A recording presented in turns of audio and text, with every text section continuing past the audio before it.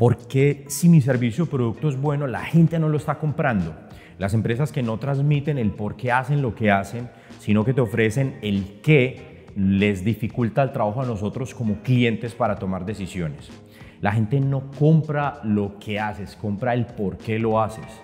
Y la decisión de compra comienza por ese por qué, el elemento emocional de la decisión. Más tarde los elementos racionales nos van a permitir que nosotros verbalicemos la razón de la decisión. Conquista primero el corazón y luego conquista la mente. Ideas del Círculo Dorado de Simon Sinek.